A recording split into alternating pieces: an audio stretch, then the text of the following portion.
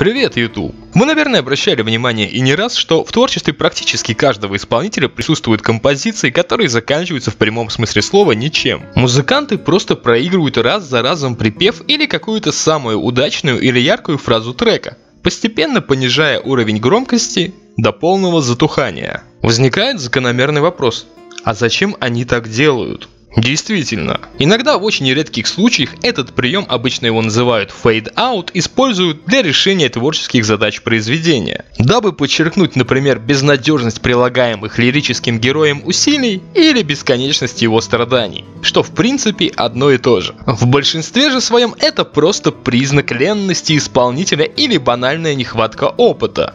Написав основную часть произведения, новоявленный композитор не придумывает ничего лучше, чем пройти по проторенному не одним поколением пути. И просто закольцовывает определенный момент песни до полного затухания. Нисколько не заботясь о том, что использованием клише он подрывает собственную индивидуальность. На мой взгляд, лучше закончить композицию как-то невразумительно или вовсе оборвать на полуслове нежели чем влиться в однородную массу пусть и хороших, но стандартных по исполнению и творческому решению песен.